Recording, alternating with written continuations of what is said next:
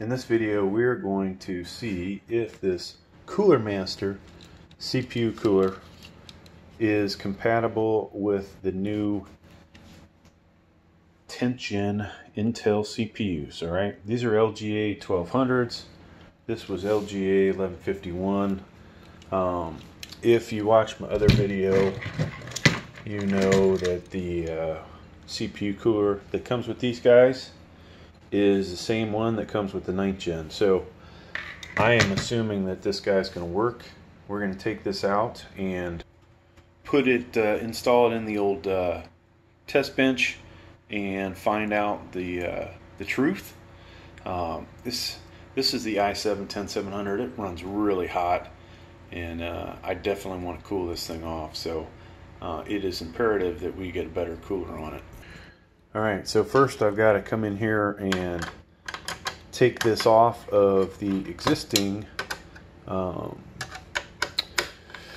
9th gen motherboard. This was a uh, ASRock Z390 motherboard, and I think either the uh, we either have an i7 9th gen i7 in here, or it's a uh, i3 uh, 9350KF. So uh, we'll get this out of here and uh, see how it goes. So if this this works, then we will uh, I'll post it and uh, let everybody know. All right, so I have uh, disassembled the cooler and uh, we're going to get it ready to be reinstalled. All right, so this is a uh, Asus Prime B460 Plus motherboard. I've gone ahead and put the, uh, at least the bottom attachments and the plates to this Cooler Master CPU cooler in.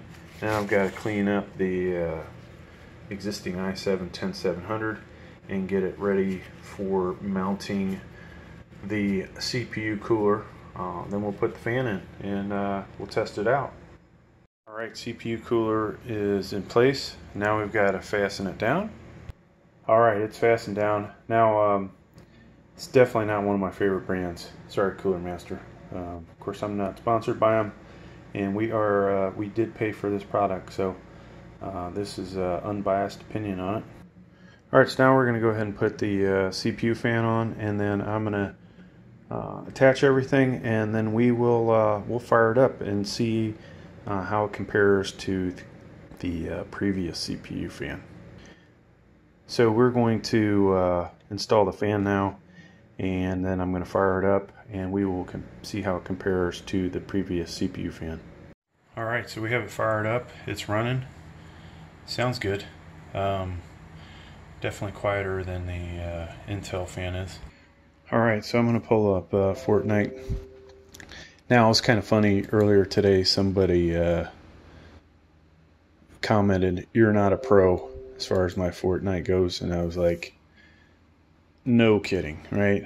Um, though I have a lot of first place finishes, I, uh, you know, it's all uh, basically luck, not much skill, and uh, hunting around getting good weapons. So I find that, I just find that funny. Um, the uh, most of these videos I do are you know to to show you average FPS with a certain type of gear. Um, the gameplay is is uh, secondary, if if even uh, tertiary. So I think uh, what I'll do is um, we'll basically uh, record a few moments of this game as the action gets hot, and I'll bring up MSI Afterburner. All right, folks. So this seems like a uh, winner, to be honest with you. There is our CPU temp.